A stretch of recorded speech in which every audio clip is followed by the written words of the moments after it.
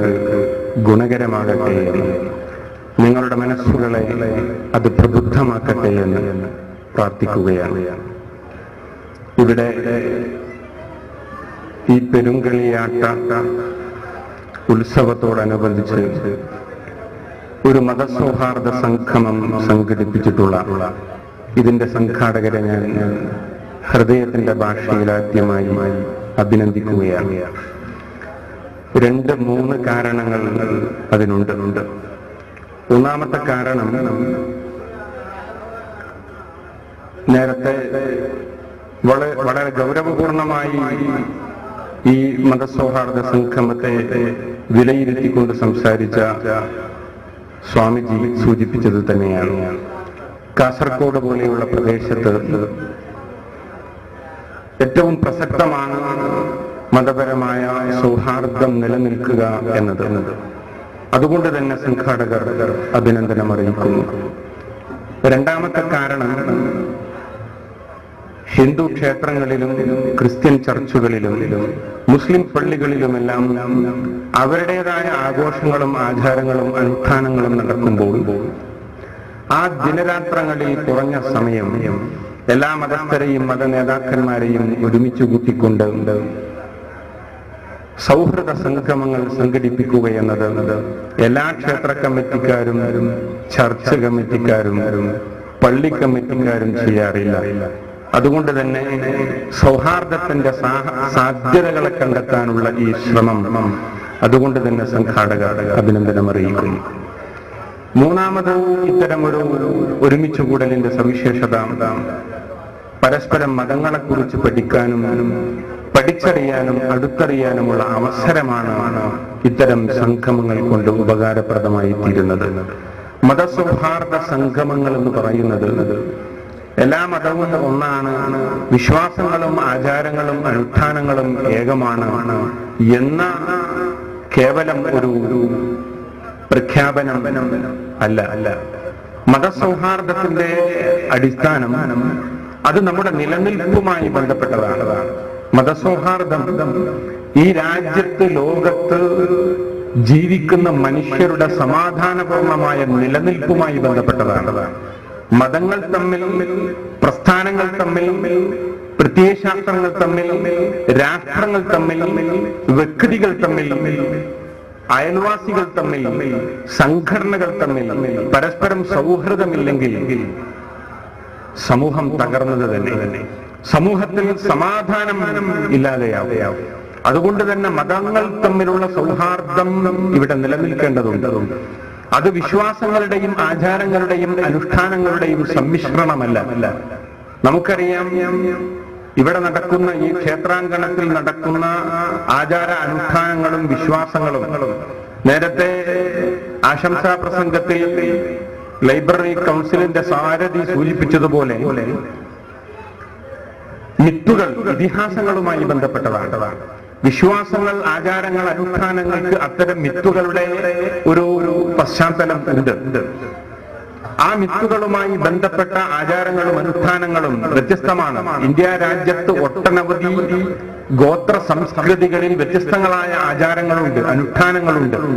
ഇതിന്റെ എല്ലാം സങ്കലനമല്ല യഥാർത്ഥത്തിൽ ഇവിടെ സൗഹാർദ്ദ സമ്മേളനത്തിൽ സംഭവിക്കുന്നത്. ക്രിസ്ത്യാനികളുടെ വിശ്വാസം ഹൈന്ദവ ആചാര അനുഷ്ഠാനങ്ങളിൽ നിന്ന് ഗോത്രവർഗ സംസ്കൃതിയിൽ നിന്ന് ഹിന്ദുത്വ ദർശനങ്ങളിൽ നിന്ന് വളരെ വിഭിന്നമാണ്. പിതാവായ ദൈവം പുത്രനായ ദൈവം പരിശുദ്ധാത്മാവായ ദൈവം ഇവർ മൂവരും കൂടിയ ഏകദൈവം എന്ന ത്രിദൈവ വിശ്വാസമാണ് ക്രിസ്ത്യാനിറ്റിയുടേത്. യഹോവ എന്ന ഏകദൈവത്തോടൊപ്പം രണ്ടായിരം വർഷങ്ങൾക്ക് മുമ്പ് നിയോഗിക്കപ്പെട്ട ക്രിസ്തുവിനെ ദൈവത്തിന്റെ പുത്രനായി പരിഗണിച്ചുകൊണ്ട് അവതാരമായി പരിഗണിച്ചുകൊണ്ട് ആരാധിക്കുകയും ഹോളി സ്പിരിറ്റ് ഗബ്രിയേൽ മാലാകയെ കൂടി ആരാധനയുടെ ഗണത്തിൽ ഉൾപ്പെടുത്തുകയും ചെയ്യുന്ന ത്രിദൈവ വിശ്വാസവും ഭാരതീയ സമൂഹത്തിലെ സാധാരണക്കാരൻ ആചരിച്ച് അനുഷ്ഠിച്ചു വരുന്ന വിഗ്രഹാരാധന ക്ഷേത്രാരാധന ബന്ധിതമായ വിശ്വാസവും എല്ലാം വ്യത്യസ്തമാണ്.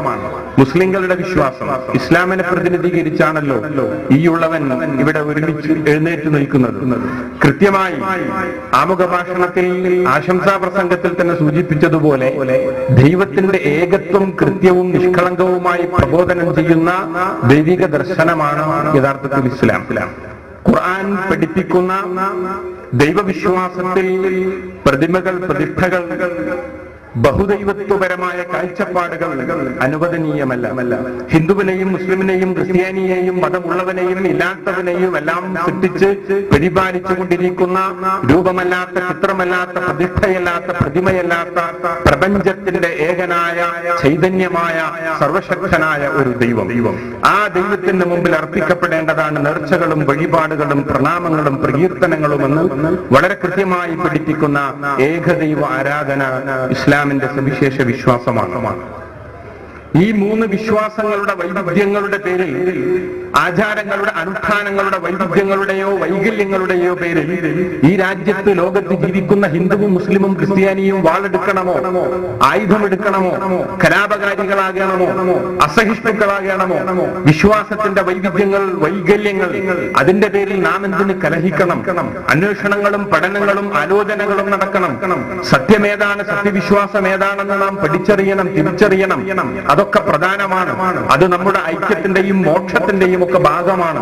പക്ഷേ സൗഹാർദ്ദത്തിന്റെ സാധ്യതകളെ തകർക്കുന്ന മനുഷ്യബന്ധങ്ങളെ വിദ്വേഷ കലുഷിതമാക്കുന്ന അവസ്ഥ അത് വേദഗ്രന്ഥങ്ങളുടെ പാഠമല്ല.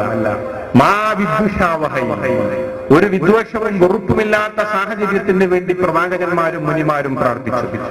ഇത് പറയുമ്പോൾ മതസൗഹാർദ്ദത്തിനപ്പുറത്തുള്ള ഒരു മാനവ സൗഹാർദ്ദത്തെക്കുറിച്ച് എന്റെ പ്രിയപ്പെട്ടവരെ നമ്മൾ ചിന്തിക്കേണ്ടതുണ്ട്. എന്താണ് ആ മാനവ സൗഹാർദ്ദം ഇവിടെ സദസ്സിൽ പ്രസംഗിക്കാൻ എഴുന്നേറ്റ് നിൽക്കുന്ന ഞാനൊരു മുസ്ലിമാണ്.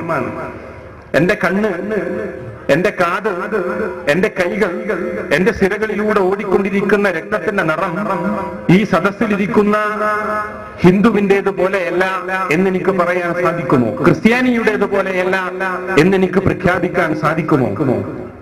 ഇവിടെ ഇരിക്കുന്ന ഈ സദസ്സിലിരിക്കുന്ന വേദിയിലിരിക്കുന്ന സർവ മനുഷ്യരും യഥാർത്ഥത്തിൽ അവരുടെ സിരകളിലൂടെ ഓടിക്കൊണ്ടിരിക്കുന്ന രക്തത്തിന്റെ നിറമൊന്നാണ്. അവർ ശ്വസിക്കുന്ന വായുവും കുടിക്കുന്ന വെള്ളവും ജീവിക്കുന്ന ഭൂമിയും സമാനമാണ്. അവർക്ക് വേണ്ടി സാക്ഷാൽ ജഗന്നിയന്താവ് സംവിധാനിച്ചിട്ടുള്ള പ്രകൃതിയിലെ വിഭവങ്ങളെല്ലാം സമാനമാണ്.